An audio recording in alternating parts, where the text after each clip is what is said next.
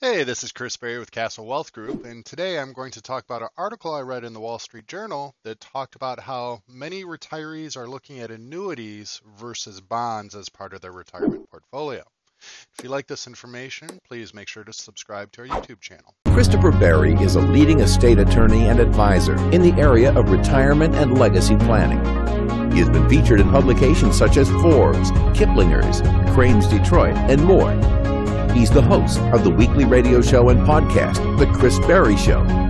He's a national thought leader as it relates to retirement and legacy planning and has authored the Amazon best-selling book, The Caregiver's Legal Guide.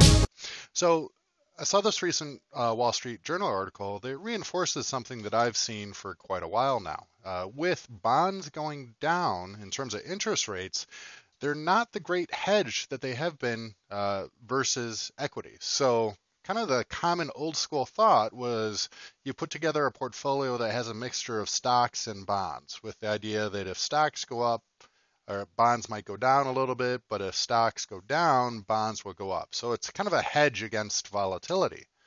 But there's been recent articles within the last couple years in studies that show the correlation isn't as inverse as we would like, especially with this low interest rate environment that we have right now.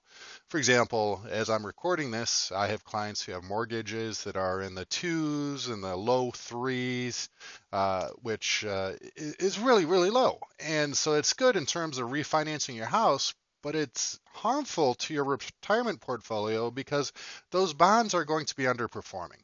And so that's where this Wall Street Journal article and one of the strategies that we can employ is looking at annuities as a bond replacement.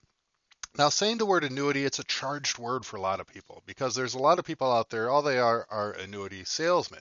And annuities can be overly uh, marketed and overly sold, especially by these low level annuity salesmen who hold themselves out as financial planners, where any problem they see, their only tool is a hammer, the annuity, and so anytime they see a nail, they use that annuity, they use that hammer, right?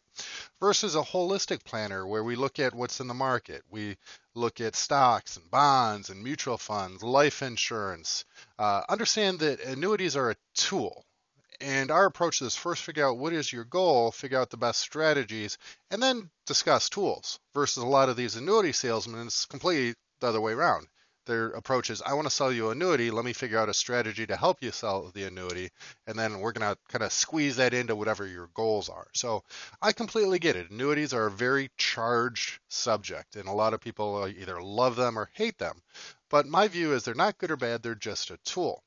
And so there's two ways that annuities can be a good bond replacement in a retirement portfolio. The first way is looking at annuities as an income source. Uh, and this is something that the Wall Street Journal article really talked about is the idea that uh, with annuities, what you can do is guarantee a certain level of income, which means that maybe we need to draw less of those retirement accounts as the market's going up and down.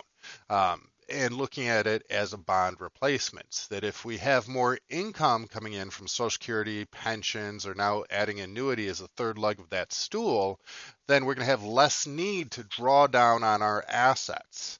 So that's one approach where annuity may make sense as a bond replacement. The other is a more straightforward approach where we look at annuities and we look at the rate of return a fixed index annuity can get with downside protection provided by the insurance company, and you get the growth potential, uh, potentially even uncapped, where you're just looking at a participation rate, where if the market goes up, say uh, 10%, you might get 5% of the upside. But if the market goes down, you don't lose anything it provides a nice floor. So if the stocks are going like this, your annuity is either going like this or going like that.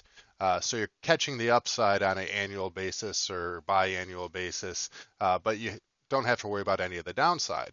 It's kind of like going to a blackjack table and you're either going to draw, meaning the market goes down or the market remains the same, or you're going to win. Uh, if that was the case, how long would you stay at that blackjack table? Probably quite a while if there's no chance for you to lose. Now, the trade off is a little bit of a liquidity issue. So, if it's something that you were going to move money into right away, this part of the portfolio, you wouldn't want to draw all the money out right away. Um, and that's where we get into financial planning and understanding which assets we're going to draw down first. But if you do have subscribed to that 60-40 model of the investment portfolio, 60% stocks, 40% bonds, there have been a lot of studies and articles, uh, even in the Wall Street Journal, talking about how that might not be the best approach because bonds are underperforming. So maybe let's look at a asset that is performing better than bonds for that 40%. Just an idea. This has been Chris Berry with Castle Wealth Group. If you find this uh, educational, please make sure to subscribe to our YouTube channel. Thank you so much. Castle Wealth Group has clients across the nation and helps families plan, protect, and preserve what is important by creating a retirement and legacy blueprint.